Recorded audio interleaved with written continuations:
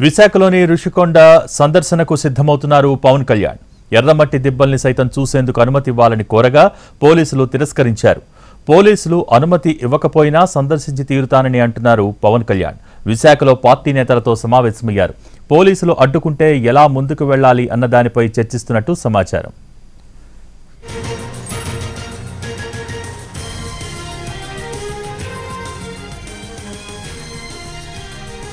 విశాఖలోని ఋషికొండ సందర్శనకు సిద్ధమవుతున్నారు పవన్ కళ్యాణ్. ఎర్రమట్టి దిబ్బలను సైతం చూసేందుకు అనుమతి ఇవ్వాలని కోరగా పోలీసులు తిరస్కరించారు. పోలీసులు అనుమతి ఇవ్వకపోయినా సందర్శించి తీరుతానని అంటున్నారు పవన్ కళ్యాణ్. విశాఖలో పార్టీ నేతలతో సమావేశమయ్యారు. పోలీసులు అడ్డుకుంటే ఎలా ముందుకు వెళ్ళాలి అన్నదానిపై చర్చిస్తున్నట్టు సమాచారం.